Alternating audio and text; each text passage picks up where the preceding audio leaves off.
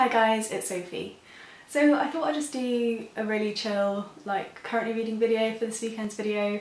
Um, I've actually pre-filmed a fair few videos that are kind of going to be coming up in the next couple of weeks. Um, but I thought it would be nice for me like just to kind of keep filming. Um, I do miss it when I don't film each weekend and I thought this would be a nice relaxing one just to put in with the other stuff. So yeah, I'm just going to show you what I'm currently reading and tell you what I'm thinking, what my plans are for this weekend's reading. So the first one I have today is War and Peace and guys I am so proud of how far through War and Peace I've managed to get so far this month. Um, so I am on page like nearly page a thousand basically so I've got like 200 pages left. It's feeling like I might do this this month. Um, it's mostly been just that I've been listening to it and also because I've not had the kind of stress in reading it, I've just picked it up and gone with it and it's been much more enjoyable. Um, Natasha and Prince Andre, my heart.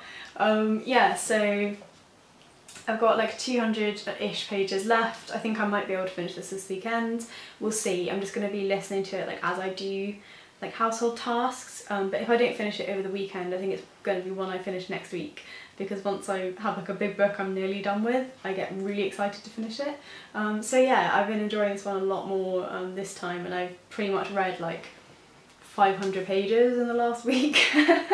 Um, but yeah so that's the first one I'm going to be having a nibble at over the weekend I'm also halfway through at the moment Strange Heart Beating by Eli Goldstone and I'm really liking it so far. It's getting just a little bit slow in the middle unfortunately but I really like the writing style and themes it's playing with um, so I'm definitely going to be finishing this one over the weekend. I might just sit down and finish it this afternoon. I don't think it's going to take too long, um, but again, if I don't, I'll finish it tomorrow. And then the next one I have, that I, I don't know if I'm going to start this weekend or not. I'm kind of torn. Um, I'm definitely going to read it in September. It's 4321. Um, now, I may take a little bit of a break in between um, War and Peace and 4321, like maybe have a week's worth of like shorter books that I'm just going to read through and have done just because going from one mammoth book to another mammoth book might be a little bit tough and I've read a few of the shorter ones I planned already um, to break up War and Peace. So yeah, I've got this one. I don't know where I'll start either. I'll just say, right, I finished Eli Goldstone, let's go for 4321 and War and Peace. Or I might, when I finish the Eli Goldstone, go for a few short non-fictions and then once I finish War and Peace, which should hopefully be this weekend, pick this one up and have one big book and then little ones alongside. We will see. Um, yeah, so I have sort of a couple things I'm looking at reading this weekend.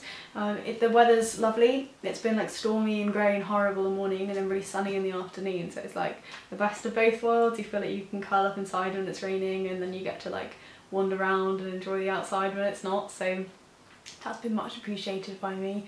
Um, yeah, so I hope that you're all having a really lovely weekend or about to.